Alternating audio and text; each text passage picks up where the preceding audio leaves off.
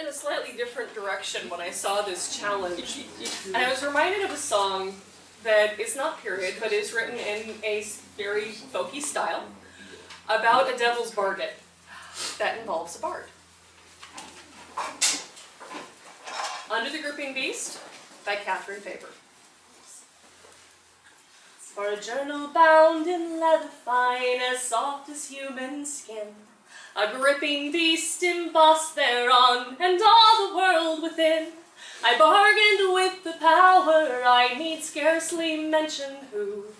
But should I keep it till my death, the standard fee falls due. Under the gripping beast is all the price I'll pay, but I'm stripped of all the bargain, should I throw the book away. But for that pain of parting, there could be no balm, no salve, for just one hour longer I will hold to what I have. There that first evening, the book upon my knee. I opened it, I held my breath in fear of what I'd see.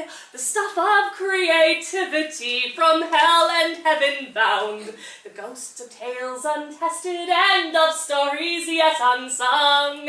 Under the gripping beast is all the price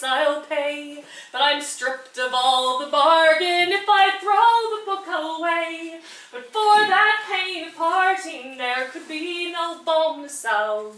For just one hour longer I will hold to what I have. I sat there that first, and as I read, my breathing raced to meet my heart's demand. For scraps of songs and stories there were written in my hand. I grabbed a seize a pencil, and my eyes shone fever bright. I slept but half an hour, but I wrote three songs that night. Under the gripping beast is all the price I'll pay, but I'm stripped of all pain parting, there can be no balm to salve. For just one hour longer, I will hold to what I have. I've tasted I've tasted my songs and stories brought me joy of honors they did win. Without the book, I still would be an orphan looking in. The thought that I must lose it is the sum of all my fears. For just one hour longer, I have held it fifty years. Under the gripping beast is all the price I'll pay, but I'm stripped of all the bargain if I throw the book away. But for that pain of parting, there can be no balm to salve. For just one hour longer, I will hold to what I have. I've tasted of creation, and my time draws near to rest. But I haven't finished writing, and this last must be the best.